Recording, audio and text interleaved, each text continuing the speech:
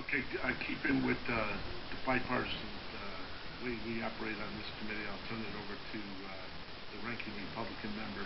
She's a little concerned because the next number is number 57, and she's been worried that she's going to mispronunciate the name for the last 15 minutes. So I said to do it like fast fast food place. Number 57, your order's up. So uh, I'll turn it over to uh, the ranking member, Representative Giegler now. Thank you, Mr. Chairman. Uh, yeah, the next one up is, um, oh, you knew? Uh, yes, uh, my name is pronounced Cole. It's very easy to say. Oh, and don't feel bad, nobody ever gets it right. You thought it was O-H? All right. And it's followed by Daniel Chu and Peter Crook. Cook. I'm from Waterbury, just for the record. I'm here again testifying because of the oath I took when joining the Marine Corps to defend the Constitution. Eight years in the Marines gave me a true love for my country and the rights that, that were granted to me when I was born here. My deployments took me to some of the most war-torn parts of the world and taught me not to take those rights for granted as most Americans do. I take great pride in the fact that I spent two years of my life in Iraq, excuse me, helping those people regain freedom. But that pride is shattered when the government who sent me there now wants to take rights away from me and my fellow Americans. Raising the age to buy a rifle I find extremely disrespectful to me and my fellow servicemen. You are saying at 18 I was old enough to carry a rifle while patrolling the streets of Fallujah, but I'm not old enough to have one to defend my home and enjoy at the range? And the rifle I would own at home is nothing like the one I carried into combat. Why are Connecticut firearm owners being punished for the act of one insane criminal? The proposed legislation will limit the ability to defend my family and enjoy my freedom. Why? Because you are treating me as a guilty man for crimes I did not commit. If even one law is passed further stripping my rights, my family and I will leave this state. Other places in the country welcome law-abiding gun owners, and guess what?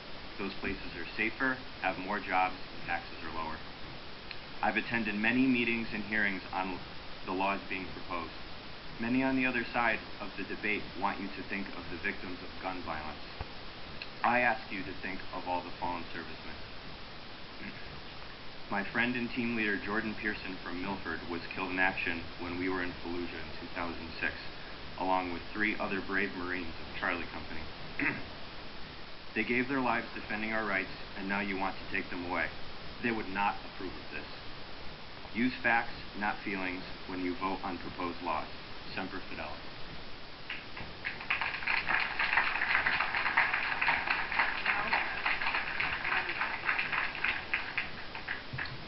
Uh, thank you so much uh, for your service to our country. It was my honor. And does anyone have any questions? Senator Hartley?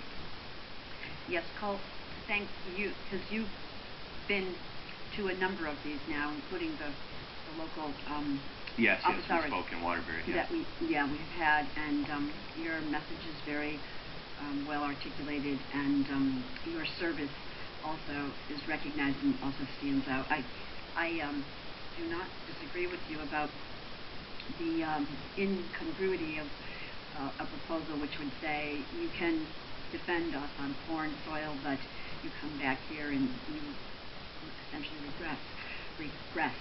Um, so, uh, thanks once again for being here, and, um, uh, we, uh, hopefully will get through all of this in a, a rational way. I hope so too.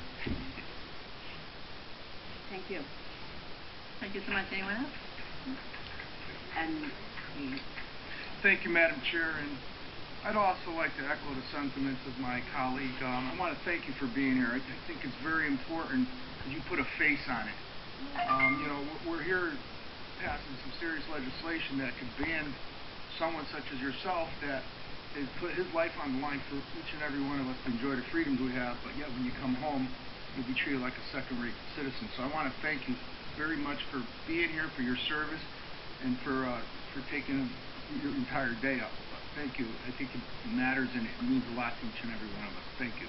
It's my pleasure, and that's the reason why I wanted to come because I think I, I come from a little bit different, you know, perspective of of this. You know, just you know, with my service.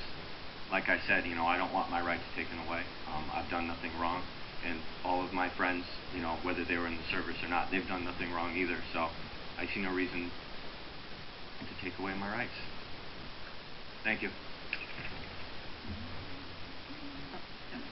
Colt, we had one more question for you, sorry. Representative Mike? Sorry, I'm hungry. Yeah.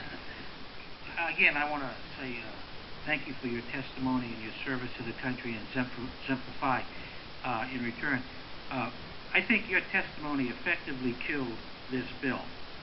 I hope so. That would be awesome. I, I, I, I say that.